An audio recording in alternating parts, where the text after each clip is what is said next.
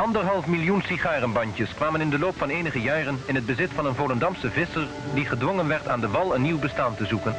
En die zich toen ging toeleggen op het plakken van een nieuw soort mozaïeken. Nico Molenaar, zo heet die Volendammer, knipte van elk van die 1.500.000 bandjes het middengedeelte of het hart uit. Hij beplakte de wanden van zijn opkamer met wit papier en schetste daarop allerlei figuren als basis voor zijn mozaïeken. In ongeveer 4000 werkuren veranderde de plakkunstenaar met al die sigarenbandjesharten het vertrek in een nieuwe bezienswaardigheid van Volendam. En er kwamen reeds vele toeristen een kijkje nemen. De totale oppervlakte der figuren bedraagt 40 vierkante meter. Hierin zijn niet minder dan 260 verschillende sigarenmerken verwerkt.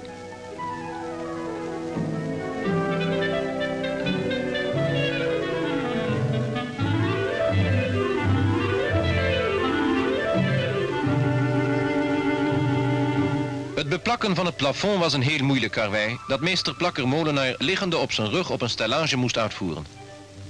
Maar het vuur van een echte verzamelaar dooft nu eenmaal niet.